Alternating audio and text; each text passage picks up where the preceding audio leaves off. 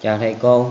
Thì ờ, đến cái video ngày hôm nay em sẽ hướng dẫn thầy cô ờ, làm cách nào để mà mình ờ, điểm danh học sinh tự động. Ừ. Mình sẽ biết được thời gian của học sinh bắt đầu tham gia và cái thời gian ở trong lớp học là là bao lâu. Thì sau đây em sẽ hướng dẫn mọi người. Thì đầu tiên là thầy cô phải vào Google Chrome ha. Thầy cô xài cái Google Chrome.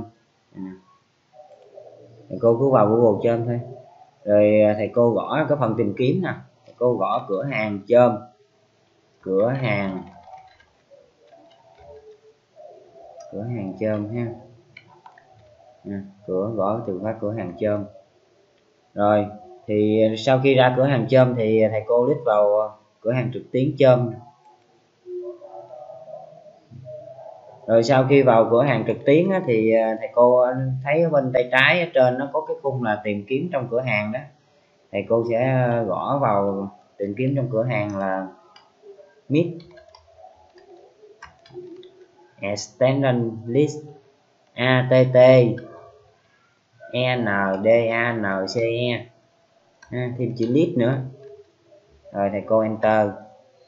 Và nó sẽ ra được cái tiện ích đó rồi thì ở đây thì cô nhìn cái um, đây nha mình mình lít vào. Thầy cô lít vào. Thì sau khi thầy cô lít vào á thầy cô ờ, chọn giùm em cái thêm vào chôm nè. Thêm vào chôm ha. À, thêm vào chôm thầy cô lít vào.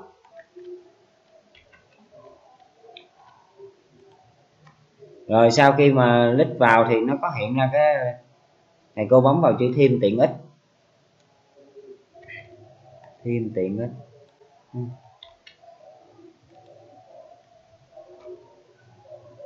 Rồi sau khi mà nó nó ra được như vậy rồi thì thầy cô cứ, ờ, cứ tắt tắt đi. Rồi bây giờ tiếp tục là mình ờ, vào ờ, Google Meet mình mở.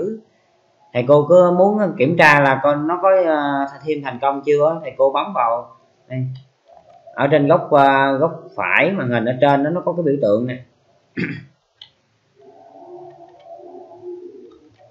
Cô thấy cái biểu tượng ngay con này biểu tượng này đây thầy cô lít vào.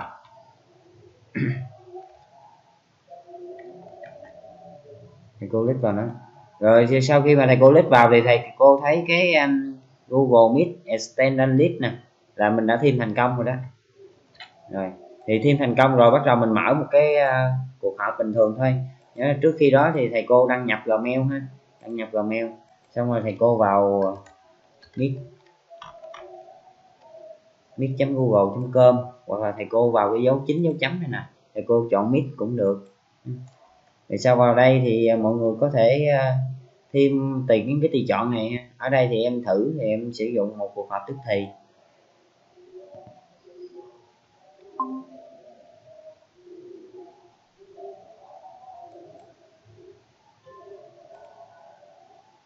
Rồi thì sau khi mà vào một cuộc họp tức thì á, thì ờ, đây bây giờ em sử dụng cái điện thoại để em tham gia.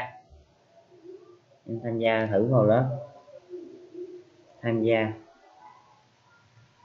SDO SDO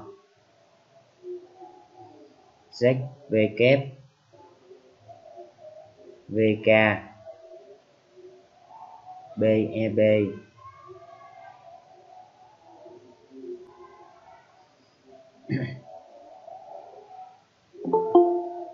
rồi thì em tham gia đây em bấm chấp nhận. Thì ờ, sau khi tham gia vào thì coi như ở đây là mình có có hai học lớp, mình có hai học sinh đi. Ừ. Thì thầy cô bấm vào cái danh sách phát nè. Cái danh, ủa, danh sách cái danh sách học sinh lớp mình á, thì đây có hai học sinh, hoặc là nhiều hơn gì đó. Thì ở đây thầy cô sẽ thấy được cái cái xuất hiện của cái cái cụm từ là cell extension nè. Thầy cô click vào. Cell extension thầy cô click vào thì nó sẽ ra nó sẽ ra cái à, cái bảng này. Thì à, thầy cái bảng này là cái bảng thống kê để cho mình biết là um, có bao nhiêu học sinh ở đây. Thầy cô có thể bấm xuất ra xuất ra xuất ra một cái file có cái đuôi là csv thì cái file này chúng ta có thể uh, click vào đây để hiển thị trong thư mục để chúng ta biết cái nó lưu chỗ nào đây nó khi mà mình mở ra thì nó đang tô nè chính là cái file mới của mình rồi thầy cô mở ra thì thầy cô sẽ thấy. Ở đây nó sẽ có uh, tên. Đây là Hoài Nguyễn là là cái tên của người mở cuộc họp đó, người chủ trì đó. Còn cái này là cái tên trên điện thoại của em là có hai lớp có hai học viên. Nhưng mà ở đây thì nó chưa có cái thời gian bắt đầu tham gia. Và cái thời gian uh, bao tham gia là bao nhiêu thì thầy cô tắt nó đi tức là cái lúc mà mình uh, chừng nào mà mình mình bấm vào ờ, mình xem đây chừng nào mà mình kết thúc. Đây là thầy cô để ý nha. Các bạn này em có thể tắt nó đi. Đây. rồi thầy cô trở lại cái thằng mic của mình nè.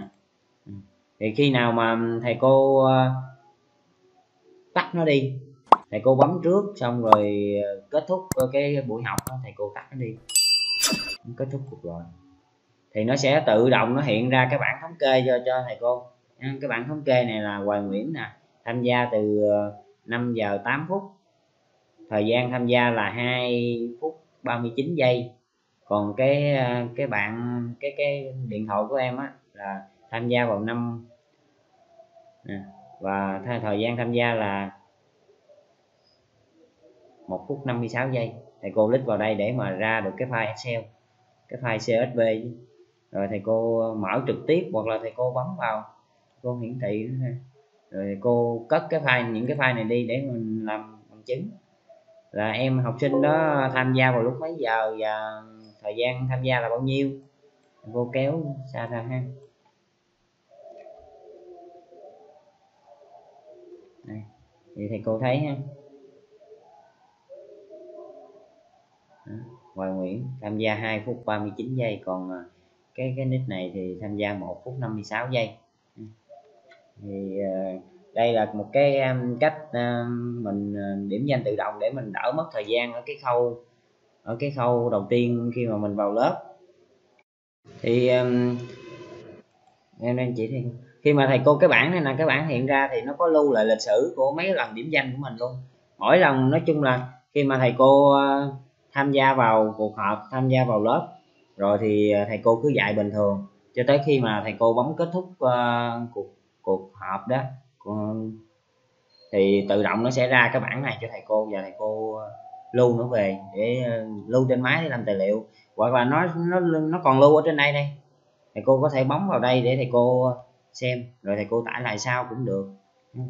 Cứ mỗi lần mà thầy cô tham gia vô thầy cô kết thúc là nó sẽ hiện ra nhớ là thầy cô trước khi thầy cô làm cái này, thầy cô phải thêm được cái tiện ích đó vào trong Google Chrome trước, rồi thầy cô dạy bình thường. Khi mà thầy cô kết thúc là tự động nó sẽ thống kê cái danh sách học sinh đã tham gia bao nhiêu phút cho mình. Thì cái hướng dẫn của em đến đây là kết thúc. Hy vọng là có giúp ích cho thầy cô đỡ mất thời gian trong cái khâu ờ, điểm danh học sinh ờ, ở đầu tiết. Rồi ờ, nếu thầy cô thấy hay thì cô cho em một like, một subscribe em kết thúc video.